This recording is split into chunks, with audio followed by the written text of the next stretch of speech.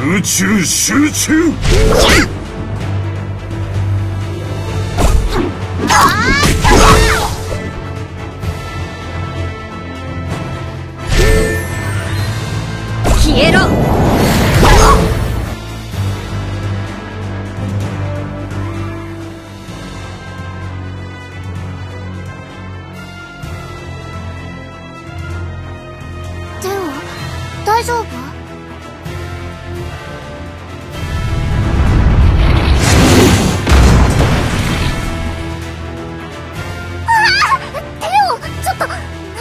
場合じゃないわ。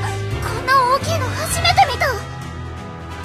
周辺のモンスターが消えたから様子を見に来たのかしら。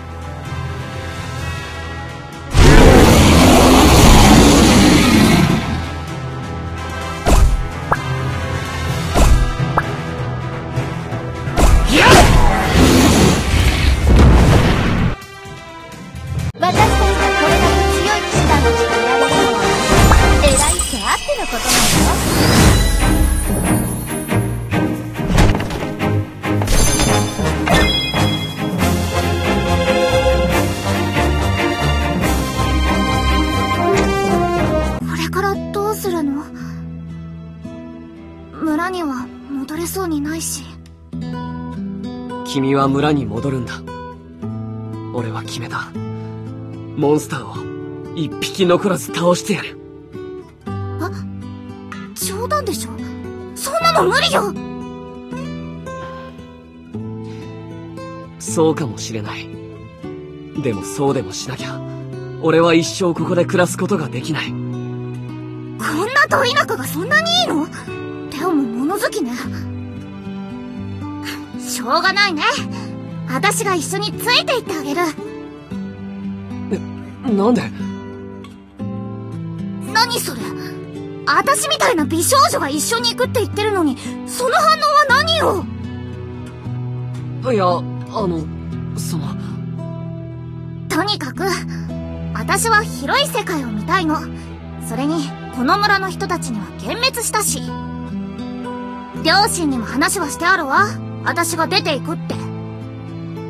え？とにかく決めたんだから。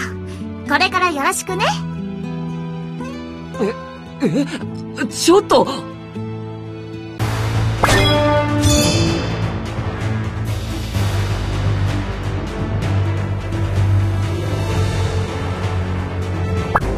モンスターなんかがいるから俺みたいな奴が不幸になるんだだから。今から。モンスターは一匹残らず始末する。